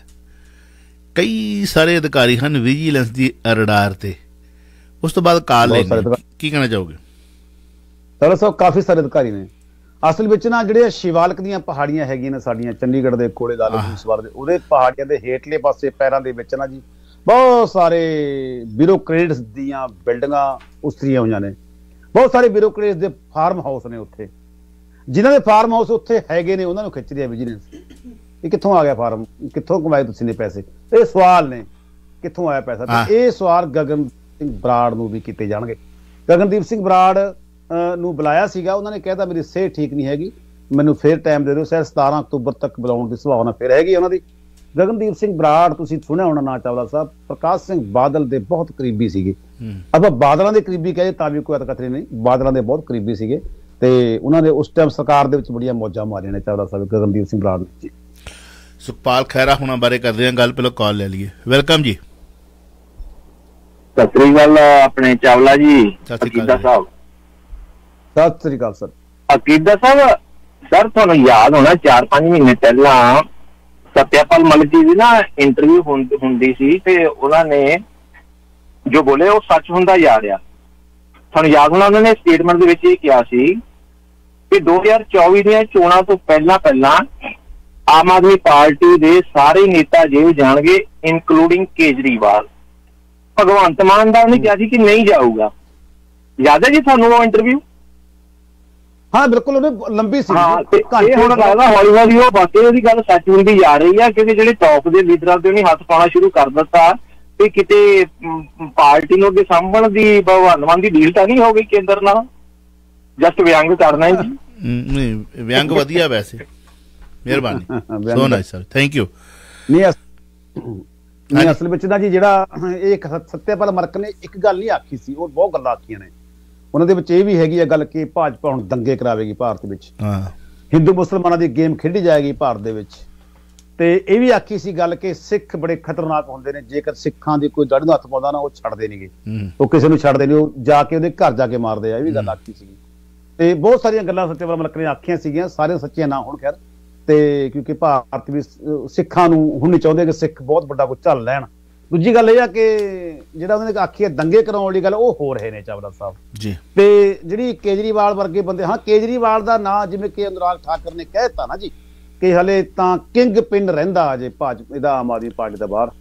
ਬਲਕਿ ਉਹਨੇ ਕਿਹਾ ਤਾਂ ਇਹਦਾ ਮਤਲਬ ਉਹ ਵੀ ਅੰਦਰ ਜਾਏਗਾ ਕੇਜਰੀਵਾਲ ਵੀ ਸੰਭਾਵਨਾ ਬਣੀ ਹੋਈ ਹੈ। ਅੱਜ ਤੁਹਾਡੇ 11 ਹੋ ਗਈ ਹੈ ਸਵੇਰ ਸਾਡੇ 10 ਦੀ ਸ਼ਾਮ ਹੈ। ਸੁਖਪਾਲ ਸਿੰਘ ਖਹਿਰਾ 12 ਅਕਤੂਬਰ ਤੱਕ ਪੁਲਿਸ ਰਿਮਾਂਡ ਤੇ ਨੇ। ਕੋਈ ਹੋਰ ਨਵੀਂ ਅਪਡੇਟ ਕੋਈ? ਗੁਰਦੇਵ ਸਿੰਘ ਨਾਂ ਦਾ ਬੰਦਾ ਹੈਗਾ ਤੇ ਉਹਦੀ ਭੈਣ ਦਾ ਮੋਬਾਈਲ ਸੀਗਾ ਤੇ ਉਹ ਆਪਸ ਵਿੱਚ ਗੱਲਾਂ ਕਰਦੇ ਸੀਗੇ। ਸੁਖਪਾਲ ਖਹਿਰਾ ਦੀ ਇਲੈਕਸ਼ਨ ਫੰਡ ਇਲੈਕਸ਼ਨ ਨੂੰ ਫੰਡਿੰਗ ਕਰਦਾ ਸੀਗਾ ਇਹ ਗੁਰਦੇਵ ਸਿੰਘ ਨਸ਼ਿਆਂ ਦਾ ਬੰਦਾ ਹੈ, ਬਾਹਰ ਅਬਰੋਡ 'ਚ ਬੈਠਾ ਹੈ। ਇਹਦੇ ਕੋਈ ਫੋਨ ਦੇ ਨੰਬਰ ਮਿਲੇ ਨੇ। ਜਿੱਦਾਂ ਫੋਨ ਦੇ ਨੰਬਰ ਮਿਲੇ ਆ ਤੇ ਮੈਨੂੰ ਉਹਦੇ ਵਿੱਚ ਥੋੜੀ ਜੀ ਗੱਲ ਲੱਗਦੀ ਆ, ਵੈਸੇ ਤਾਂ ਵਿਜੀਲੈਂਸ ਨੂੰ ਇਸ ਗੱਲ ਦਾ ਜ਼ਿਆਦਾ ਪਤਾ ਹੈ। ਵਿਜੀਲੈਂਸ ਕੋਲੇ ਕਾਫੀ ਰਿਕਾਰਡ ਹੋਣਾ ਹੈ। ਹੁਣ ਗੱਲ ਕਿਵੇਂ ਹੁੰਦੀ ਸੀ? ਉਹ ਕਹਿੰਦਾ ਸੁਖਪਾਲ ਖਹਿਰੇ ਦਾ ਪੀਏ ਹੈਗਾ। ਸੁਖਪਾਲ ਖਹਿਰੇ ਦੇ ਪੀਏ ਨਾਲ ਗੱਲ ਹੁੰਦੀ ਸੀ ਉਹਦੀ ਭੈਣ ਚਰਨਜੀਤ ਕੌਰ ਦੇ ਨਾਲ। ਚਰਨਜੀਤ ਕੌਰ ਗੱਲ ਕਰਦੀ ਸੀ ਗੁਰਦੇਵ ਸਿੰਘ ਦੇ ਨਾਲ। ਗੁਰਦੇਵ ਸਿੰਘ ਦਾ ਸੁਨੇਹਾ ਦਿੰਦੀ ਸੀ ਫਿਰ ਪੀਏ ਨੂੰ। ਪੀਏ ਸੁਨੇਹਾ ਦਿੰਦਾ ਸੀਗਾ ਸੁਖਪਾਲ ਖਹਿਰੇ ਨੂੰ। ਸੁਖਪਾਲ ਸਿੰਘ ਖਹਿਰਾ ਕਿੱਥੇ ਆ ਉਹਦੇ ਵਿੱਚ? ਬਲਕਿ ਪੀਏ ਨੂੰ ਤੁਸੀਂ ਫੜੋ, ਸੁਖਪਾਲ ਖਹਿਰਾ ਦੇ ਵਿੱਚ ਨਾਂ ਕਿੱਥੋਂ ਆ ਗਿਆ? ਇਹ ਹੁੰਦਾ ਇਹ ਕਾਨੂੰਨ ਆ ਇਹ ਲੀਗਲੀ ਤੌਰ ਤੇ ਹੁੰਦਾ ਬਸ ਇਹ ਅਦਾਲਤਾਂ ਮੰਨ ਲਓ ਅਦਾਲਤਾਂ ਨੂੰ ਕਿਵੇਂ ਵਰਤਣਗੀਆਂ ਜਾਂ ਵਿਜੀਲੈਂਸ ਕੋਲੇ ਹੋਰ ਕਿੰਨਾ ਪੱਖ ਇਹਦੇ ਹੈਗੇ ਆ ਕੇਸ ਦੇ ਇਹਦਾ ਉਹ ਉਹ ਜਾਣਨਗੇ ਪਰ ਜਿੰਨਾ ਕੁ ਮੈਂ ਖਬਰ ਪੜ੍ਹੀ ਆ ਜਿੰਨਾ ਕੁ ਰਿਮਾਂਡ ਦੇਣ ਵਾਲੀ ਗੱਲ ਮੈਂ ਪੜ੍ਹੀ ਆ ਉਹਦੇ ਵਿੱਚ ਸੁਖਪਾਲ ਖਹਿਰਾ ਜਿਹੜਾ ਹੈਗਾ ਉਹ ਇੱਕ ਪਾਸੇ ਬੈਠਾ ਹੂੰ। ਉਹਦੇ ਪੀਏ ਨਾਲ ਗੱਲ ਹੋ ਰਹੀ ਆ ਚਰਨਜੀਤ ਦੀ ਤੇ ਚਰਨਜੀਤ ਕੌਰ ਆਪਣੇ ਭਰਾ ਨਾਲ ਗੱਲ ਕਰ ਰਹੀ ਆ ਉਹ ਨਸ਼ੇ ਦਾ ਤਸਕਰ ਹੈਗਾ ਤੇ ਚਰਨਜੀਤ ਨੂੰ ਪਹਿਲਾਂ ਪੁੱਛੋ ਨਾ। ਤੇ ਉਹਦੇ ਪੀਏ ਨੂੰ ਪਹਿਲਾਂ ਪੁੱਛੋ ਨਾ ਸੁਖਪਾਲ ਖਹਿਰੇ ਦੇ ਨਾਲ ਭਾਈ ਤੇਰਾ ਸੰਬੰਧ ਕੀ ਨੇ? ਤੂੰ ਸੁਖਪਾਲ ਖਹਿਰੇ ਨੂੰ ਦੱਸਦਾ ਸੀ ਗੱਲਾਂ ਇਹ ਸਾਰੀਆਂ। ਬਿਲਕੁਲ। ਬਈ ਸੁਖਪਾਲ ਸੁਖਪਾਲ ਖਹਿਰਾ ਕਿੱਥੇ ਉਹਦੇ ਵਿੱਚ ਆ ਗਿਆ? ਇਹ ਇਹ ਪੈਸਾ ਵਿਜੀਲੈਂਸ ਕੋਲੇ ਹੋਰ ਪੱਖ ਵੀ ਹੋਣਗੇ ਕਈ। ਪਰ ਮੈਨੂੰ ਇਸ ਪੱਖ ਤੇ ਥੋੜਾ ਲੱਗਿਆ ਵੀ ਇਹ ਇਹਦੇ ਵਿੱਚ ਝੋਲ ਹੈਗਾ ਚਾਵਲਾ ਸਾਹਿਬ ਚਲੋ ਮਿਹਰਬਾਨੀ ਸੋ ਨਾਈਸ ਸਾਹਿਬ ਥੈਂਕ ਯੂ ਕਿਦਾ ਸਾਹਿਬ? ਸਤਿ ਸ਼੍ਰੀ ਅਕਾਲ। ਸਤਿ ਸਤਿ ਸ੍ਰੀ ਅਕਾਲ ਚਲੋ। ਤੁਸੀਂ ਸੁਣ ਰਹੇ ਹੋ Chawla news network Toronto CNN Toronto.